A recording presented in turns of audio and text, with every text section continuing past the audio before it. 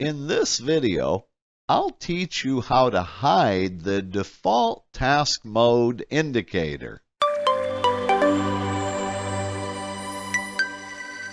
Have you ever noticed that every time you open a new project in Microsoft Project, that the software always displays a new tasks created message in the lower left corner of the application window. I personally have found that to be very annoying over time, and I'm thankful I figured out how to hide those messages. In this video, I'll show you how to do that. So let's get started. You know, I sure love the Microsoft Project desktop application.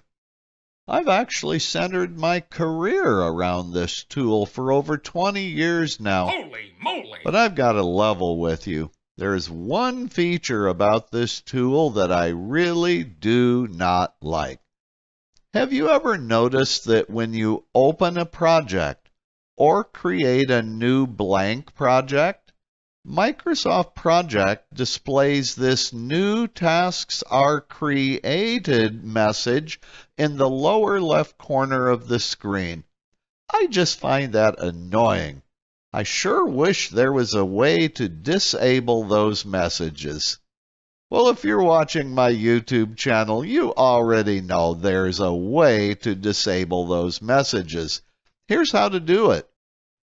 Float your mouse pointer anywhere over the status bar at the bottom of the application window and do a right mouse click to display the shortcut menu. On the shortcut menu, deselect the item called New Task Mode Notification, and then click anywhere outside of that menu. The next time you open a project of any kind, including a new blank project, the message is gone forever. Now you know how to hide those default task mode messages in Microsoft Project and never see them again. If you found this video helpful, be sure and give it a like, and if you haven't done so already, please consider subscribing to the channel. I warmly welcome your questions and comments, so feel free to leave them in the comment section down below.